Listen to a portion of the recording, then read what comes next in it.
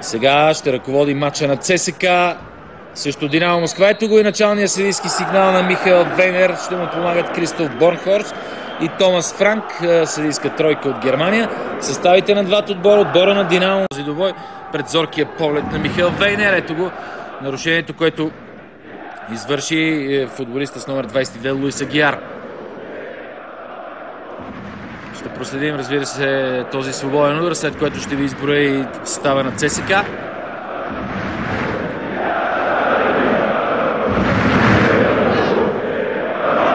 Маркиниус. Той вкара от далеч по-голяма дистанция в двубоя в Лондон Дери матча реван срещу Дери Сити. Тогава успя да изведе червените напред в резултата. Дано сега да има същия късмет. Може би пък нещо заучено. Маркиниус центрираме. Удар на Маркиниус! Какво избиване там на Габул. След това нямаше кой Йордан Минев да добави топката в мрежата. Добро начало на българите. Има обаче и съдийски сигнал.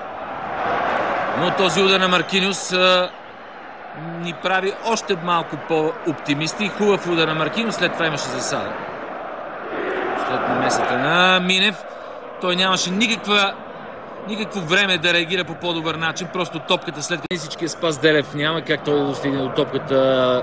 Фернандес се вади в нов тъч. Какво начало за българите? Дано само да не се подадат на емоцията и да забравят, че все пак трябва да се защитават. Много центриране Делев рикошет в крак на бранител на Динамо. Топката стана лесна за Габулов. Две много интересни ситуации пред руския страж. Играе се сърце в подобни ситуации.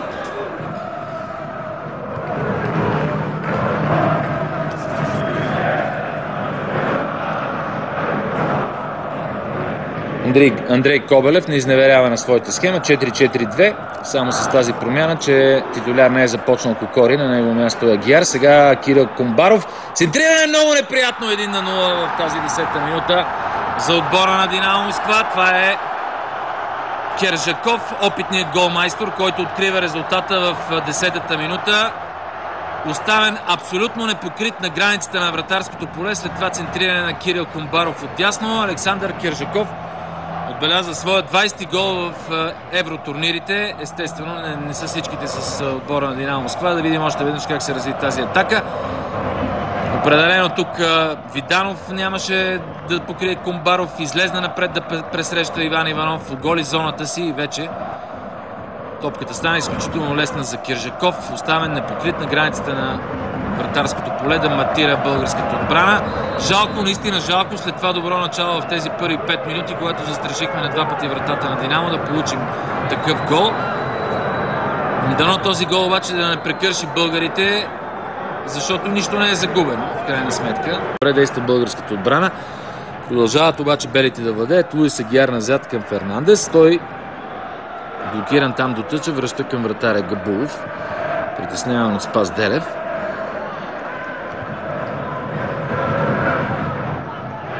Ето сега възможност за добра българска атака. Фернандес. Добре, паска Спас Делев. Един на един. Един на един. Спас Делев изравнява резултата в тази 14-та минута. Чудесен гол на Спас Делев. Един на един.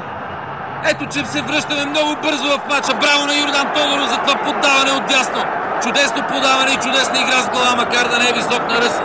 Спас Делев матира отбраната на домакиите. Ето, че възкръсваме много бързо. Само 4 минути след като получихме гол, успяхме да го върнем. Чудесно изпълнение на Спас Делев, чудесно центриране на Йордан Тодоров.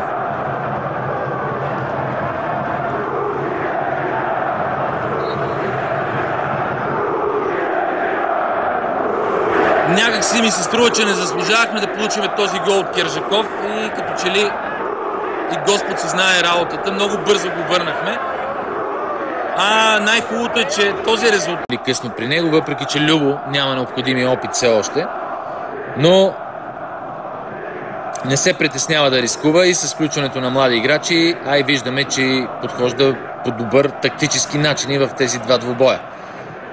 Атаката в зародиш на Динамо бе преустановена, след което Павел Виданов комбинира с Спас Делев. Той се освобождава от Колодин. Спас Делев влиза в наказателното поле Спас Делев. Пас към Йордан Тодоров. О, какъв пропуск на Йордан Тодоров бие страни от вратата в тази 30-та минута. Чудесно включване на Спас Делев. Ето видяхте какво направи и след това видя непокрития Йордан Тодоров, който стреля с десния крак, но не точно. Пред опразнената врата, ох, какъв шанс за български отбор в тази 300 минута можеше да Виданов добре във въздуха. Тиманов. Чист шпагат срещу него. Кухлов към Ковалчик. Надясно за Кирил Комбаров. Трябва да внимава Виданов. Комбаров е добре подпомаган от Ковалчик. Общо взето ще имаме доста неприятности в тази зона. Браво на Тодор Янчев, след това топката му избяга, иначе добре се прибори. Уилкшир трябва да бъде блокиран сега. Извеждащо браво, браво на Караджов. Успя като че ли с върха на ръкавицата си да отклони тази топка. Браво на Караджата. Както викат него. Първото по време Динамо ЦСК 1 на 1. 7 срещу 4 са нарушенията. Повече са били те извършвани от отбора на Динамо. Какъв хубав удар с глава пак на Йордан Тодоров. Страхотни изяви на Йордан Тодоров, както в първия двубой, така и в днешния матч с чудесна асистенция. Видяхте как проследи това центриране. Мина пред футболиста на Динамо Москва, случая Владимир Гранати, макар да не е кой знае колко висок. Не съм виждал 3-минутно продължение на първо по време. От доста време един път само влезе на силката, за да се окаже лекарска помощ на Маркинус.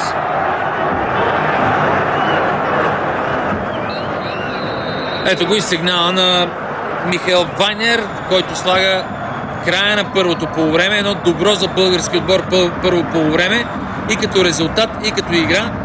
Динамо ЦСК 1 на 1 на стадион Арена Химки в московското преградие Химки.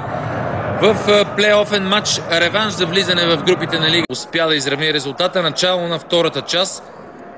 Динамо ЦСК 1 на 1 на резултат, при който българският тим продължава в групите на турнира Лига Европа, но разбира се, е рано още да правим какви. Затова пуска такъв ръстов играч, като Александър Димитко. Свободен удар в полза на Динамо. Топката ще бъде доставена в наказателното поле. Да видим за кого. Именно за Димитко е тя.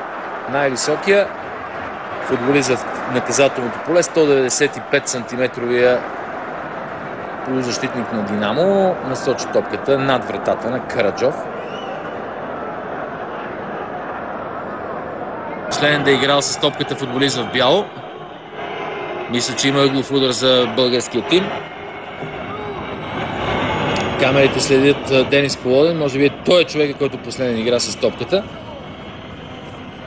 Да, точно така ще има ъглов удар. Центриране на първа града. Продължава разиграването. Иван Стоянов. Много центриране! 2-1 за ЦСК! Гол за ЦСК! ЦСК повежда! Отбора на ЦСК повежда в 55-та минута. Не можах да видя кой беше футболиста, но мисля, че Иван Иванов наказва рустаците. Ето това е големия дух. Ето това е когато си вярваш и има сили да го направиш. Иван Иванов повежда, извежда отбора на ЦСК напред след това изпълнение на ъглов удар и последно, последвалото разиграване. Чудесният финт и чудесното центриране на Иван Стоянов сложи топката на главата на Иван Иванов, който за втори път в матча наказва руснаците. 2-1 за ЦСК в 55-та минута. Просто само можеше да изгледа футболиста на Динамо в случая Ковалчик ситуацията, защото Иван Иванов го надиграва въздуха и насточи безкомпромисно топката във вратата на Габулов. Два гола с глава един на Спас Деле в 14-та и на Иван Иванов в 55-та минута поставят домакините в изключително тежка ситуация, но за наша радост отбора на ЦСК се приближава с една решителна Много беше критикуван отбора на Любослав Пенев, че показва слабост при статичните положения, но ето, че при такова статично положение успяхме да матираме съперника в тази ситуация. Мекото центриране с левия крак на Иван Иванов излезна и много добре смени ъгъла на центрирането Иван Иванов и насточи топката в далечния ъгъл на Гапулов. Без помощен руски вратар надигран във въздуха Ковалчик и радост за Иван Иванов и за всички онези, които обичат ЦСК и като цяло Тимонов. Също него Ковалчик. Добре, Тимонов задържа топката, ще центрира в наказателно поле. Забави се обаче. Точно така. Комбаров, който сега загуби топката. Да видим Минев. Връща към Спас Делев. Тодоров. Затворен от Куклов. Все пак намери начин Тодоров да изведе Спас Делев. Спас Делев!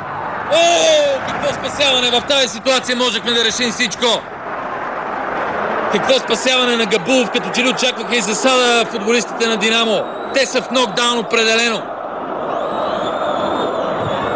Младежкия национал на Русия съвсем скоро вкара гол за младата сборна в една контрола срещу Италия. Ето го Фьодор Смолов, влиза в игра. Това ще е второ негово участие в евротурнирите. Той бе и смяна срещу Селтик.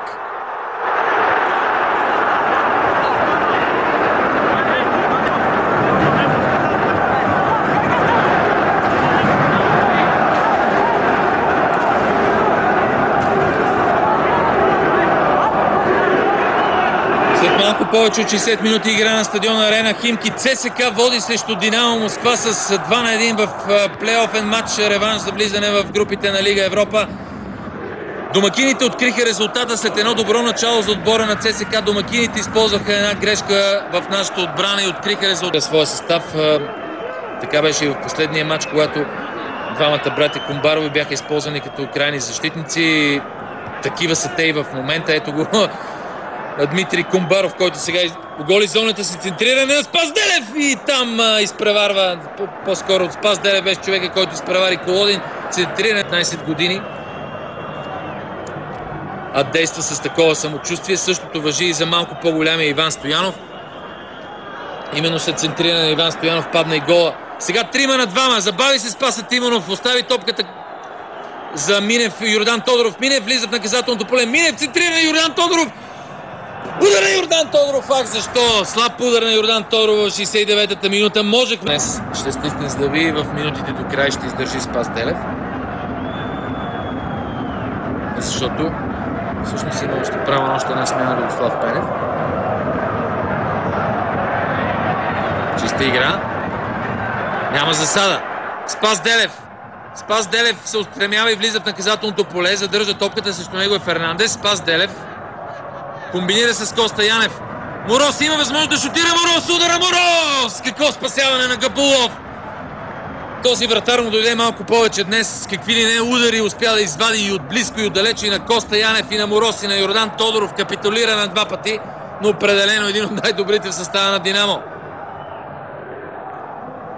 Удар с десния крак на Виктор Смороз. Късмет за Габулов, че топката беше точно в неговото тяло. ЦСК обаче 11 футболисти в червено днес. Футболисти без кой знае какъв опит. Футболисти дошли от Сливен, от Ботев, от Пирин. Днес играят не само като равни сравни със своя съперник с далеч по-слабна визитка и от далеч по-голяма школа, каквато е руската, но и в определени моменти от мача го надиграват. Това беше страхотният удар на Коста Янев с десния крак. В 79-та минута не е лошо режисьора да ни покаже. Ето това е легитимирането на Любослав Пенев. Тези два мача с Динамо Москва. Легитимирането на Любослав Пенев с отбора на ЦСК в Европа. Сега има нова засада на Кокорин.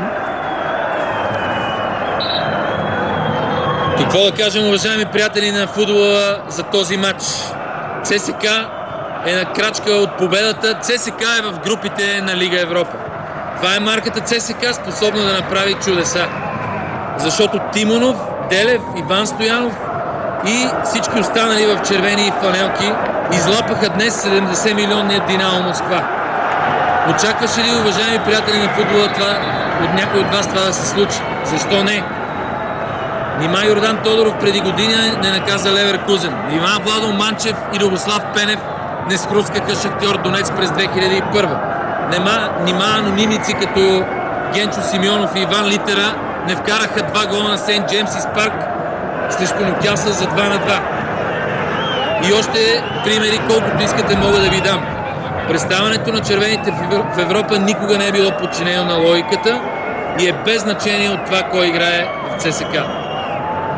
Било то с късмет, било то с защитна или не чак толкова тактика, ЦСК е орисан да сваля от престола царе, да развенчава фаворити. Е, това е днес за ЦСК, уважаеми приятели на футбола. Тези мои последни думи в матча, тъй като нямаме много време, мога само да поздравя всички, които днес играха срещу Динамо Москва в червени фланелки. Абсолютно не посрамиха българския клубен футбол и изиграха един великолепен матч. ЦСКА спечели срещу Динамо Москва с попаденията на Спас Деле в 14-та минута и на Иван Иванов в 55-та и още куп-куп положение пред Габул. Дори и този гол на Киржаков не успя да пречупи българския тим. С това аз завършвам, уважаеми приятели на футбола. За мен беше изключителна чест да коментирам този матч. Сега давам думата на Радостин и на неговия гост в студиото.